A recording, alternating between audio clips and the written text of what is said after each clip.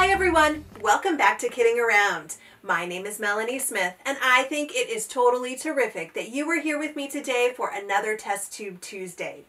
Today we'll be talking about potential energy and kinetic energy.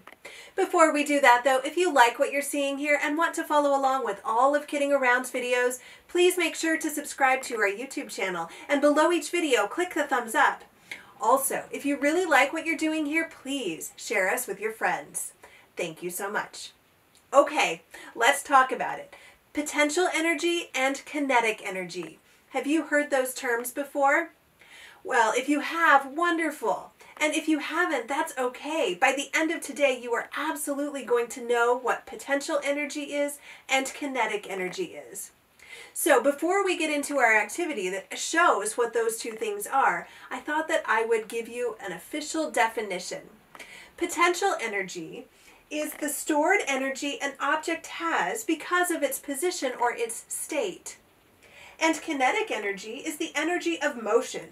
Potential energy is converted into kinetic energy as it is used. If those definitions went into your brain and completely latched on and make total sense, wonderful. If those definitions went into your brain and kind of latched on but don't make complete sense, wonderful. No problem. We are going to be doing an activity today that shows you both kinetic and potential energy at work. And I guarantee that by the end of this activity, you will absolutely understand those concepts both backward and forward. So we are going to be making a popsicle stick chain.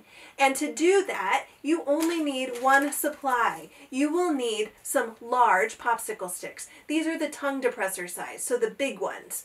Mine are colored, and I think that that makes them a little bit easier to use in this activity, but you absolutely can use the regular uh, non-colored popsicle sticks. Just make sure that they're the large ones. If you don't have any of these on hand, there's a link below this video to where you can purchase some.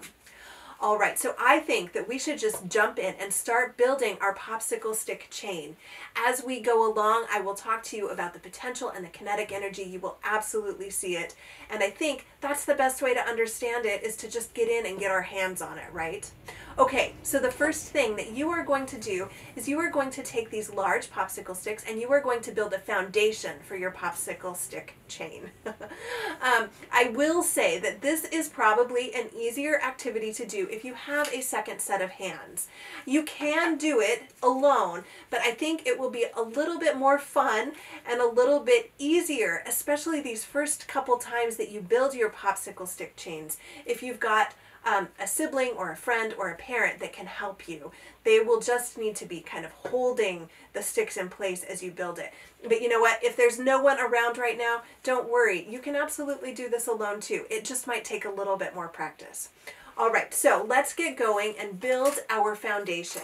So the first thing that we are going to do is we are going to take your two pop two popsicle sticks and make an X right in front of you, just like that.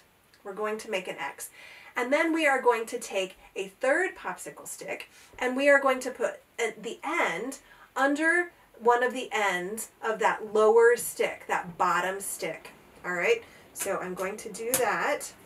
And then you are going to put that third stick across the second stick.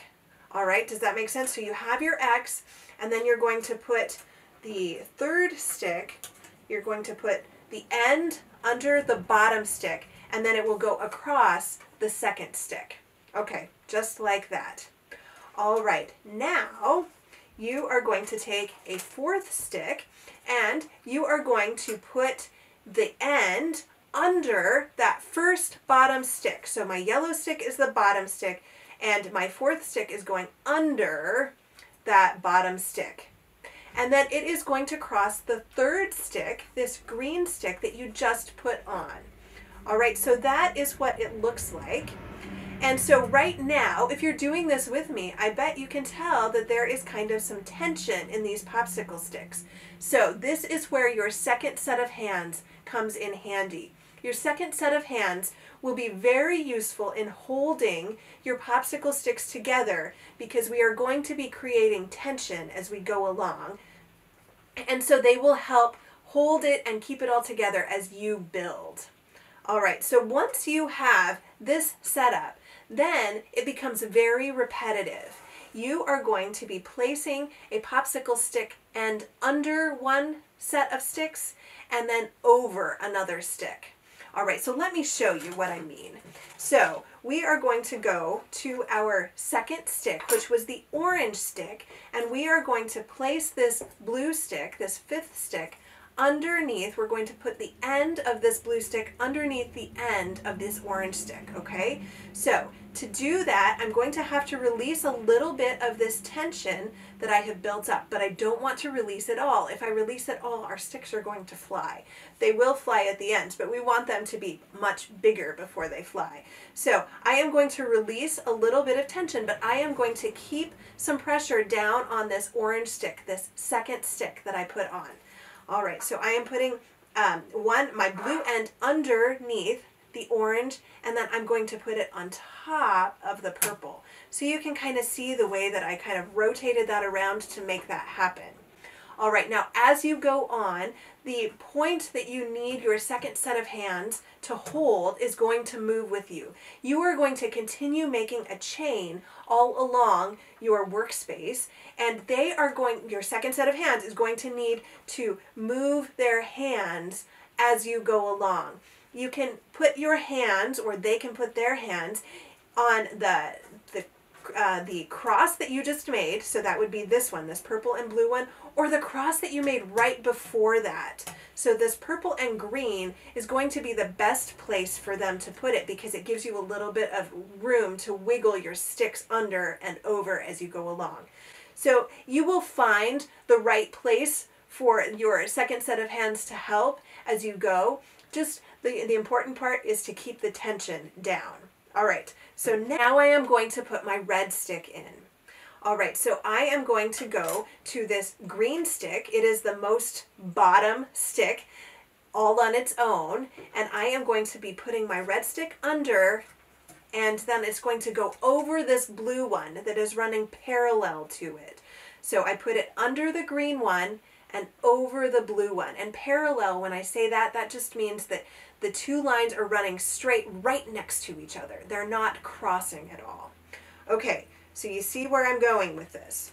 So now I'm going to take an orange stick and I am going to find the next stick that is on the bottom that is all alone. So that is this purple one and I'm going to go under it and over the red one. And that red one is running parallel to the purple one. All right.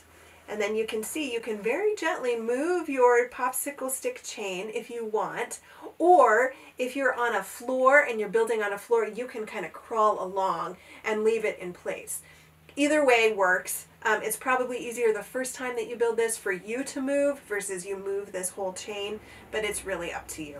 Okay, so now I am going to move my pressure point to a cross that I've just recently made. I guess here this is actually the, the third most recent cross that I've made, but I don't want to be holding it back here. If I'm holding it back here, I'm going to have problems. So I want to keep my pressure down in a cross close, you know, in a cross that I've just recently made. Okay, so now I'm going to take another stick and let's see, what am I going to do? I have this blue one is the most bottom stick that is all alone. So I am going to put my purple stick under that blue stick and over the orange one that's running parallel to the blue, right? All right, so I am going to keep building and I am going to let you know that you are witnessing potential energy right now at work, right? You can feel the energy. You can feel that pressure that these sticks are, um, are forcing themselves around, right? So that is potential energy. It's energy that hasn't yet been used. So I'm continuing to build. I'm finding that next bottom stick that's all alone and I am putting a stick underneath and then I am crossing the stick that runs parallel to it. So as I was saying, this is your potential energy at work. You feel it wanting to kind of pop up and it is energy that wants to be used hasn't been be hasn't been used yet, right? All right, so I'm going back. I'm seeing that this yellow stick is the most bottom stick that is all alone. There aren't two sticks with it. And then I am crossing it and I am just continuing to build my popsicle stick chain reaction. It's not yet a chain reaction, but it will be soon. Okay, so I find this red one and I'm going under and I will just continue to build it. I'm continuing to move the pressure as I go, right? To make sure that I'm keeping that potential energy potential.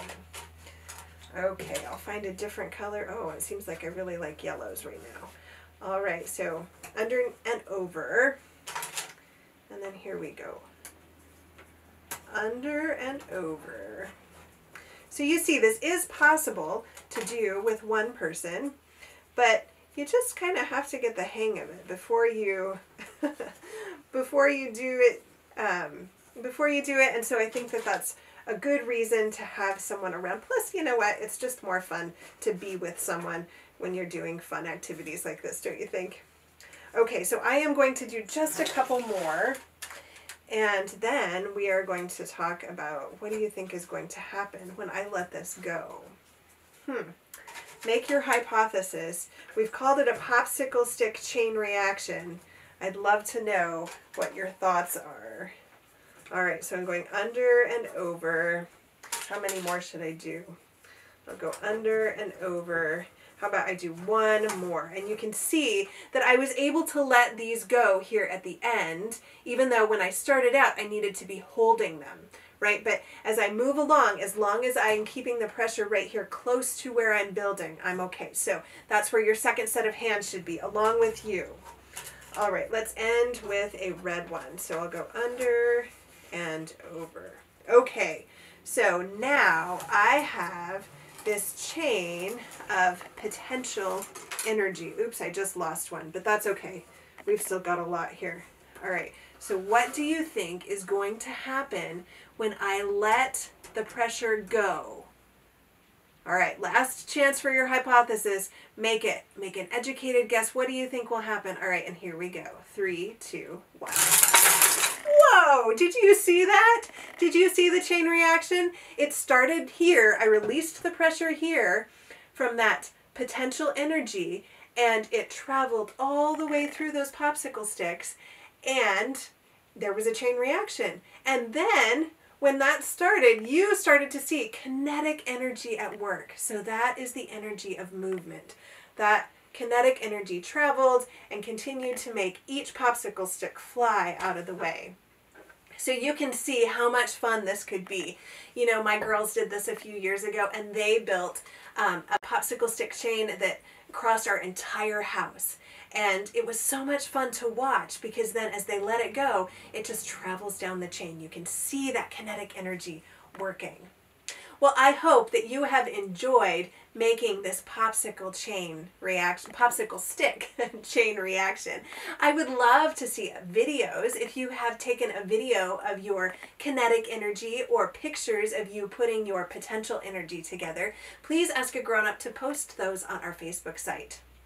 Well, I am so glad that you could join me today and learn a little bit about energy. I look forward to seeing you on Thursday. We have another fun, thoughtful Thursday lesson. I can't wait to see you then. I can't wait to spread some love around the world with you. Until then, though, thanks so much for joining me for this one.